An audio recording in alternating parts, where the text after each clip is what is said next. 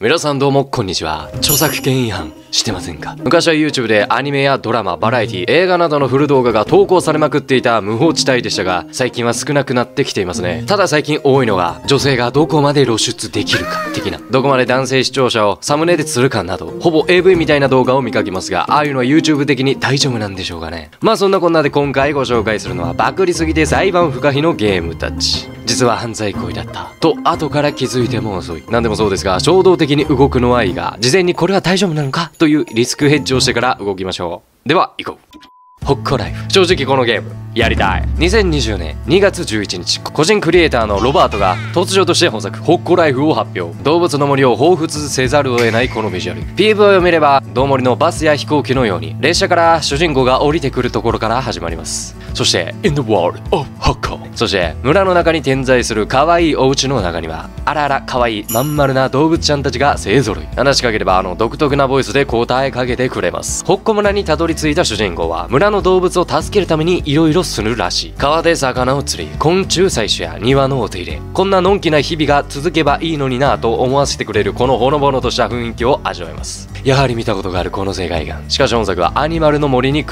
べてデザイン的な面で優れているらしい。街で素材を集めたらクラフトして家具やアイテムを作ることが可能。どうやら村をデザインすると村人が喜んでくれるようです。こういうエフェクトも二頭身の動物も全てに既視感を覚える。まあいろいろ言いましたがもう動物の森にしか見えません。コンセプトをパクるのは100歩譲って OK だとしても本当に一つのひねりもなくオリジナルを超えようと思っている気概を感じられないほどのオリジナリティの欠如。全てが道森に酷似していることから本作発表地から海外メディアでは恥知らずの動物の森クローンが PC で発売されると言われこっちまで気まずくなるほどにブチギレ。トレーラーに関しても圧倒的に低評価が近年ではダークソウルライクなるものが多くなっていますがそれぞれに世界観が異なっているためベースはソウルでも。大きく見えればオリジナリティを感じるゲームが多い。しかしながらホッコライフ。ベースがどうもりで世界観もどうもり。これは動物の森ライクとは言い難く。どうもりのクローンと言われても差し支えない。列車で村に来るのではなく護送車で刑務所に行って殺人アニマルたちと刑務所を彩り鮮やかにするゲームとかの方がオリジナリティがあって面白そうなんですけどね。ただ本作 PC で発売予定なので PC でどうもりができるという利点があります。あと個人的に動物たちが可愛いです。悪く言えば頭だけ着ぐるみをかぶった人間に見えなくもないですがこのまん丸とした顔が可愛いですね。発売は当初2020年内だったのですが一人で開発しているためが2021年現在も発売未定。発売してからから評価がどうなるのか楽しみです。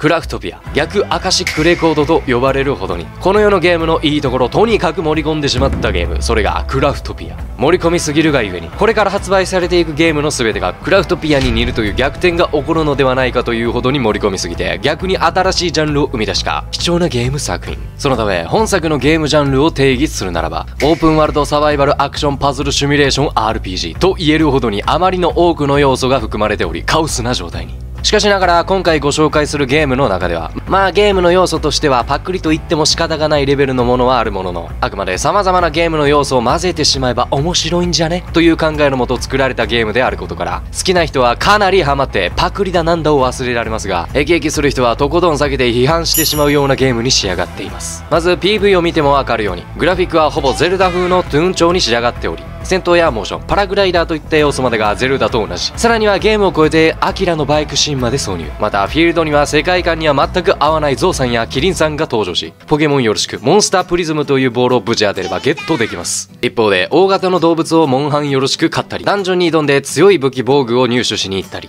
さらにはマルチプレイでマイクラのように農場で自由気ままに物を栽培したりなどやれないことを見つける方が難しいほどに様々な作品がクロスオーバー状態。そんな詰め合わせセットのようような PC ゲームって大体低クオリティじゃないの？と思われがちですが意外にも完成度は高く様々な要素があるのに案外バランスが取れているのでユーザー評価も非常に好評。アップデートも頻繁に行われユーザーの声に随一応える姿勢からフットワークが軽いゲームという認識で運営の評価も高い。しかし少なくともバグや不具合は存在しています。中でも面白かったのが運営が実装していないはずの水圧の機能を利用して小麦を自動収穫するユーザーが現れ公式運営が戸惑うという謎のハプニング。このように公式でさえ考えていなかった遊び方を発見できるクラフトビア。ここ数年で流行ったゲーム要素をそのままコラボさせ既視感を超えてもはや異色やんと言わんばかりの要素ばかりですが詰め込みすぎることでパクリよりもオリジナリティを確立しまっているクラフトビア。しかしながら様々なゲームジャンルを組み合わせてもバランスが崩れることなくさらに言えば面白さを消化させている点を見れば評価せざるを得ない。全てパクるのではなく確実に面白い部分をパクってそれらを組み合わせれば面白いゲームがなんとなく作れたというのが本作。パズルキングダム。どこからどう見てもパクリでしかない。スマートフォン向けに配信されたパズルキングダムまあ完全にパズドラのパクリなわけですが当然のこと本作のリリース直後からネットで悪い意味で話題沸騰。いざリリースして始めてみるとチュートリアルの分もチュートリアルで動かすパズルの位置すらも同じでありモンスターも同じ。とにかく全てが同じでオリジナリティのかけらも感じない。まさに著作権違反の部類。さらに本作のリリース当初はプレミアムカーキャンペーンというなんとも興味をそそるイベントを開催。その内容とは？ゲーム内のダンジョンにに参加して入手できるポイントを集めて応募すると景品がもらえるという。他のスマホゲームにはない画期的なイベント。その景品とは3等ゲームソフト2何かのゲーム機。そしてなんと1等賞に当選したプレイヤーには中古のベンツをプレゼント。いらん。たとえ当選したとしてもこんなうさんくさいゲームに個人情報を与えていいのか。前つばものなわけですよ。UI も音楽もサウンドさえも。パズドラを丸パクリ。しかも驚くことながら開発したのは日本の会社。それは渋谷に存在する会社タイゾ調べてみると真っ先にプライズゲートという時代遅れのスマホゲーらしき広告が登場。会社の近況を知るためのニュースは2016年。プライズゲートのリリースをもって音沙汰がなく。ホームページだけ残して現在存在しているのかすら不明。そんなこんなでネットで瞬く間に話題となり。元宝にも通報されさすがにヤバいと思った運営が速攻サービスを終了。しかしイベントで当選したプレイヤーには配送手続きを行えば商品の発送は行うらしい。しかしながら裁判沙汰にはなっておらずいや会社の動きがないことを鑑みると、裏では裁判が行われていたのかもしれません。まさかの日本の会社がここまでパクるのは珍しいですね。ということでいかがだったでしょうか。見事にいろんなパクリをご紹介しましたがやはり大胆にパクってしまうと。元となったゲームファンがブチギレるのはもちろんですが社会的制裁もあるのでゲーム開発者は気をつけたいところです。ただどこまでが OK でどこからが著作権に引っかかるのかは割と曖昧なところもあります。元のゲームよりも別の場所で面白くて世界観を変えてしまえば OK っていうのがソウルライクシリーズのパターンなんですけどまあ日本のゲームで言えばニオとかコードベイン的な個人的にこの辺のゲーム訴えたらどうなるんでしょうか。ソウルシリーズの本質的でもある超難易度に多少世界観を変えて新しく表現している時点で割とグレーな部分なのかもしれないですがまあ結論としては面白ければユーザーとしてはどっちでもいいです。じゃあ今回の動画で感じた皆さんの意見もぜひコメントで教えてください。じゃあこの動画やったらチャンネル登録やグッドボタンお願いします。では次の動画で会いましょう。キャベツでした。ほらまた。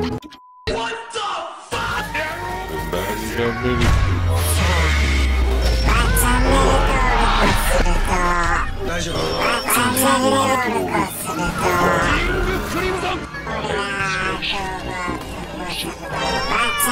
チ